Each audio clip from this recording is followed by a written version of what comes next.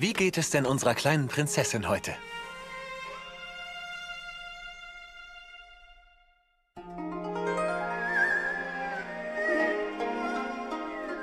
Exzellenz Gingy, wie geht es euch?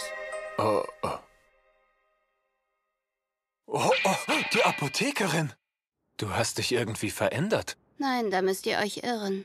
Und wo sind deine Sommersprossen hin? Ganz einfach, ich habe sie weggewischt. Du meinst, du hast sie überschminkt? Oh nein, sie sind fort, weil meine Schminke weg ist. Hä? Was redest du da? Das macht doch keinen Sinn. Du bist geschminkt. Oh, ist das nervig. Ich hätte seine Frage einfach bejahen sollen. Also hört zu, ich habe mir jeden Tag mit trockenem Leben Sommersprossen aufgemalt. Und das bedeutet, ihr habt mein Gesicht bisher immer nur geschminkt gesehen.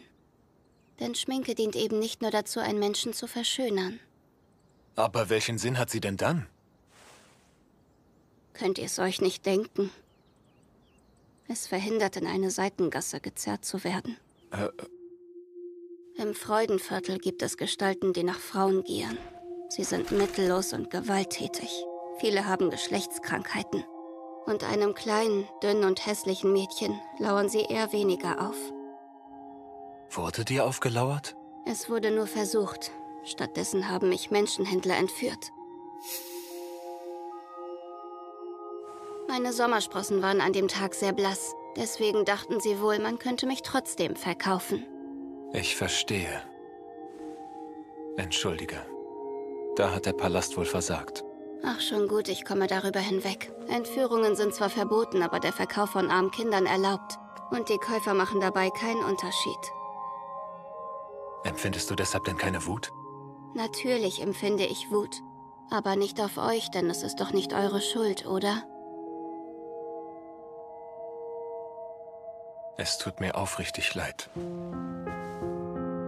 Er ist ungewöhnlich aufrichtig.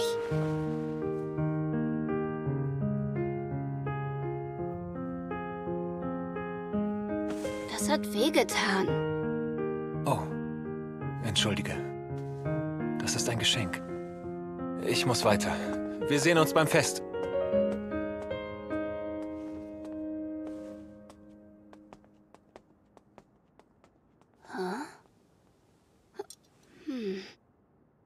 Ein Haarpfeil für Männer?